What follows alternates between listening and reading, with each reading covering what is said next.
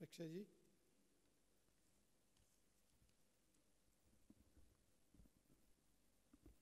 नमस्ते खै त सेल्स प्रोफेसनलहरू नमस्ते आएन त हजुर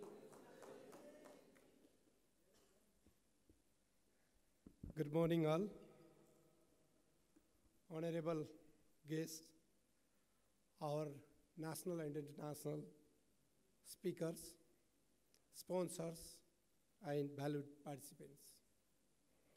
Very good morning and warm welcome to the seventh edition of Sales Summit. As it is known to everyone, one of us here, the Growth Leadership Academy, a sister concern of growth sellers, has been organizing the Sales Summit since an inception in 2016 and now has almost become a household name for all of these sales professionals. Our main objectives of this conference is to provide a platform for sales professionals to share, learn, and expand knowledge about the emerging issues, challenges, and trends of the, uh, trends of the selling across the country and globally.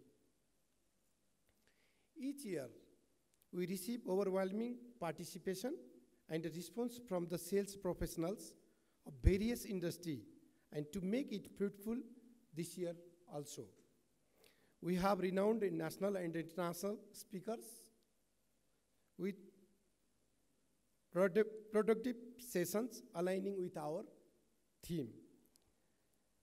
Given the current economic situation of Nepal, it would be fair to say that the larger business environment is the bit challenging at the moment. Winning primarily to high inflation, purchasing power of the consumers at large is one of the lower side, and this phenomenon in, is creating pressure in the business, more specifically on people in charge of sales in business organization. Putting these things into perspective, the theme for this year's sales summit is staying ahead in difficult times. And we are certain that this platform will be useful for all of us in the process in- of innovative learning. I want to welcome our national and international speakers, special invitees, sponsor, delegates, advisory committee, and a special thanks goes to our broadcast partner, Kantipur Media Network Private Limited. Sorry, Network Limited. We all are gathered here today to learn from each other and share experience and, and are overwhelming and overjoyed with your participation. We hope that this conference will be fruitful for you all and add value to your organization too.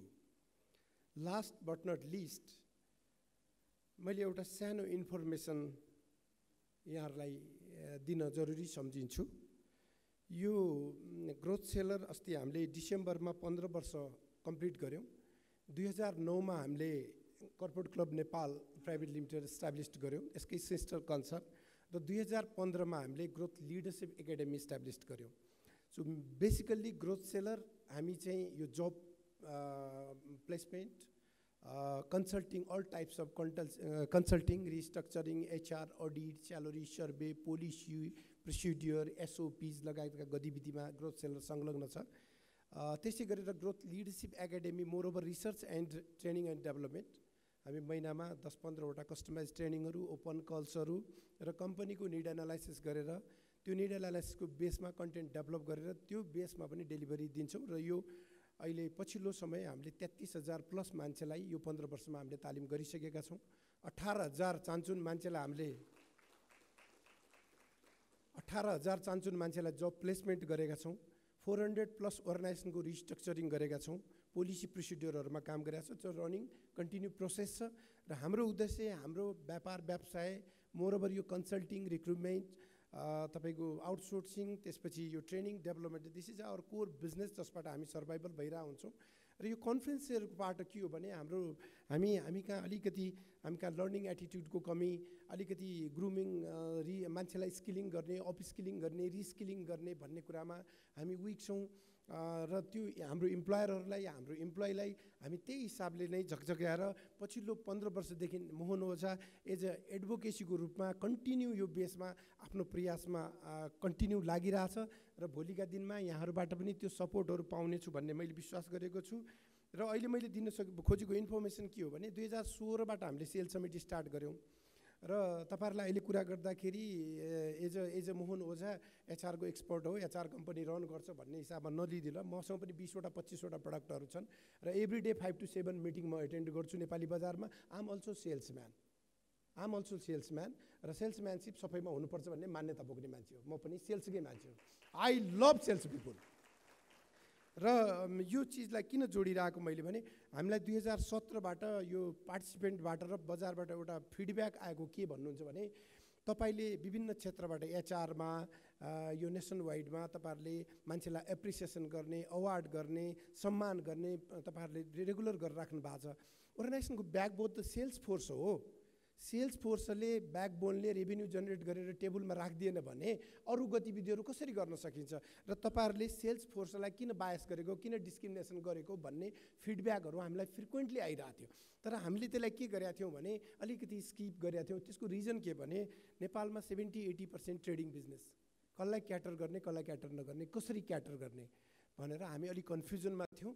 त्यो बेसमा दुई हजार बाइसको sales समिटमा एक सय तिस plus पार्टिसिपेन्टलाई चाहिँ sales फोर्सलाई र sales four को डोमिन त्यो इन्स्टिट्युसन होस् या इन्डिभिजुअल होस् यसलाई चाहिँ सम्मान गर्ने प्रवृत्ति चाहिँ तपाईँहरूले डेभलप गर्नु पऱ्यो भनिसकेपछि हामी सिरियस भयौँ। र हामीले काठमाडौँ युनिभर्सिटी त्रिभुवन युनिभर्सिटी र पोखरा युनिभर्सिटीको प्रोफेसरहरूसँग बस्यौँ यो जेठको महिनामा। बसिसकेपछि उहाँहरूले सर्टेन हामीलाई चाहिँ आइडियाहरू दिनुभयो। त्यो बेसमा उहाँहरूको संयोजकत्वमा हामीले जेठको महिनामा जुरी बनायौँ। उहाँले रिसर्च टिम आइडेन्टिफाई गर्नुभयो। त्यो रिसर्च टिम आइडेन्टिफाई गरेर उहाँहरूले हामीलाई दसवटा क्याटेगोरी टेन्टेटिभ दसवटा क्याटेगोरी इन्स्टिट्युसन दसवटा क्याटेगोरी इन्डिभिजुअल र यो अवार्डमा जानु पऱ्यो भनेर भएपछि त्यसपछि उहाँहरूलाई नै जुरी बनाइसकेपछि उहाँहरूले तिन दिन अगाडि मात्रै हामीलाई रिजल्ट बुझाउनु भएको छ। यसपालि हामी दसवटा क्याटेगोरी इन्स्टिट्युसन दसवटा क्याटेगोरी इन्डिभिजुअल र एउटा क्याटेगोरी त्योभित्र मार्केटिङ स्पेसलाइजेसनभित्र गरेर आई थिङ्क ट्वेन्टी वान क्याटेगोरीमा आज हामी अवार्ड दिन गइरहेछौँ इन्स्टिट्युसन र व्यक्तिलाई। अब यो यसमा चाहिँ यहाँहरूले एउटा यो सेल्स प्रोफेसनल र यो फ्लोरले एउटा बुझिदिनुपर्ने के भने तपाईँहरूको नजरमा त्यहाँ अवार्ड पाएको भन्दा त्यो इन्डस्ट्रीको अरू राम्रो मान्छे पनि हुनसक्छ। तर हामीलाई डाटा उपलब्ध गराइदिएन रिसर्च टिमलाई डाटा उपलब्ध गराइदिएन होइन? त्यो रेसमा भागै लिएन हामी केही पनि गर्न सक्दैनौँ। होइन? बेस्ट त्योभन्दा अरू पनि हुनसक्थ्यो होला बजारमा पक्कै पनि म एग्री गर्छु त्यसमा। तर हामीले जुन किसिमले हाम्रो जुरीले चाहिँ इच क्याटेगोरीमा दसवटा कम्पनी सर्टलिस्टिङ गर्यो इच क्याटेगोरीमा दसवटा इन्डिभिजुअल सर्टलिस्टिङ गर्यो त्यो बेसमा हाम्रो रिसर्च टिमले मार्केटमा गएर डाटा कलेक्सनतिर लाग्यो।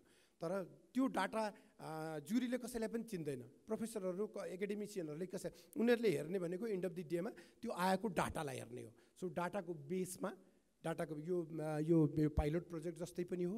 यो कहिले पनि अन्तिम हुँदैन र हामीलाई ग्रोथ सेलरलाई एउटा कुरामा चाहिँ गर्व के महसुस हुन्छ भने हामीले कुनै पनि प्रोजेक्टमा हात हाल्यौँ भने त्यो जुनै सुकै पनि नेचुरल या कुनै पनि प्रकारको अब्सट्याकलहरू होस् हामी चाहिँ कहिले पनि ब्रेक हुँदैनौँ। तपाईँहरूलाई थाहा छ एचआर मिट। एचआर मिट हामीले टु थाउजन्ड एटमा सुरु गऱ्यौँ। पन्ध्रवटा सिरिज अस्ति मार्चमा हामीले कन्टिन्यू कम्प्लिट गऱ्यौँ। यो हामीले दुई हजार सोह्रमा सुरु गऱ्यौँ। सातौँ सिरिज अहिले कम्प्लिट गर्दैछौँ। होइन? त्यसै गरेर म्यानेजमेन्ट कन्क्लेभ हामी कन्टिन्यू छौँ र यस्ता खालका गतिविधिमा हामी कहिले पनि ब्याक हुँदैनौँ। त्यो हामी त्यो त्यसलाई कसरी म्यानेज गर्ने हामी सोचिरहेको हुन्छौँ। तर स्केल सानो गर्न सकौँला अप्ठ्यारो परेको कन्डि परिस्थितिमा तर हामी ब्रेक गर्दैन। यसलाई कन्टिन्युटी हाम्रो सबैभन्दा ठुलो स्ट्रेन्थ हो। र त्यो स्ट्रेन्थ यहाँहरूले दिएको सपोर्ट माया ममताबाट हामीले पाएका हौँ। र तपाईँको विल विसेसबाट हामी यो सोसाइटीलाई बलियो बनाउने कुरामा नेपालको कर्पोरेट इन्डस्ट्रीलाई बलियो गराउने कुरामा सधैँ लागेन। छत्तिस वर्ष भयो कन्टिन्यू लागेको। अझ पनि कन्टिन्यू गर्नेछु भन्ने यहाँहरू अझै प्रण गर्न चाहन्छु। र अन्तमा extending a warm welcome to all of you once again for a great learning experience thank you so much नमस्ते ह्याभ अ ग्रेट डे